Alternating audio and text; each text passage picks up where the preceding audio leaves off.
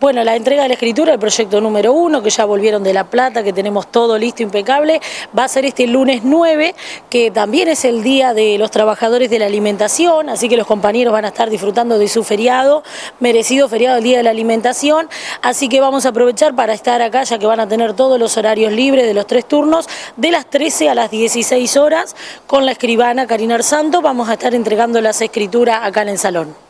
Bueno, Silvina, además de esto, esto es una excelente noticia para todos los trabajadores. Eh, además de eso, sabemos que se vienen algunos talleres o algunas eh, enseñanzas aquí en el salón de Estía. Estamos esperando que bueno que Planfine nos confirme los días que va a estar dando, como siempre, tienen el lugar dispuesto, porque lo usan no solamente los trabajadores, los familiares de los trabajadores, sino la comunidad toda, tiene la oportunidad de terminar el secundario, que eso es muy importante, así que eso seguramente va a ser de las 13 a las, 15, a las 17 horas, y por la tarde vamos a arrancar con la Escuela de Danza Argentino Somos, que es para dar folclore a los niños de 4 a 7 años, que van a tener a partir de las 6 de la tarde, para que salga del escuela merienden, los chicos tengan su tiempo y, entren al sindicato a las 18 horas hasta las 19 y después de 8 años en adelante a los niños que entren de las 19 hasta las 20 horas. Después falta confirmar el horario para mayores, bueno, que estamos hablando con la profesora Ivonne, Rubén, bueno, todos los chicos de Argentinos Somos para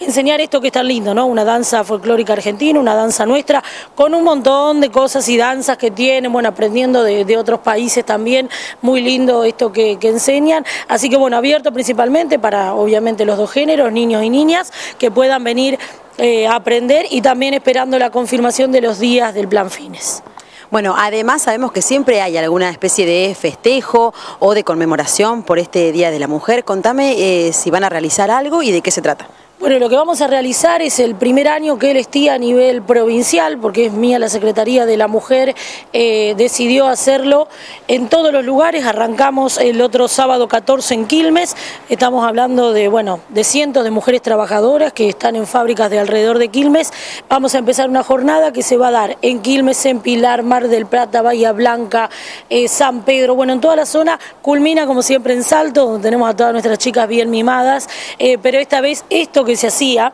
para las chicas solamente de, Salto se extiende a las casi 4.000 trabajadoras que tenemos a nivel provincial. Así que este agasajo, esta fiesta, esta charla, esta didáctica se va a dar para todas las mujeres de la provincia a cargo de una jueza que es Daniela Massa, que nos visitó en un momento. Ella va a dar una charla corta de 50 eh, minutos que habla de los derechos de la mujer, de los derechos como trabajadora, como mamá, la vida cotidiana, ¿no es cierto?, que tiene una mujer este, y los derechos que nos faltan por conseguir, de lo que tenemos, cómo cuidarlo también y cómo valorarlo valorarse, tratar también el autoestima de las mujeres, que es muy importante. En este momento donde, bueno, cada 26 o 29 horas muere una mujer, es sumamente importante asesorarla, saber que el sindicato está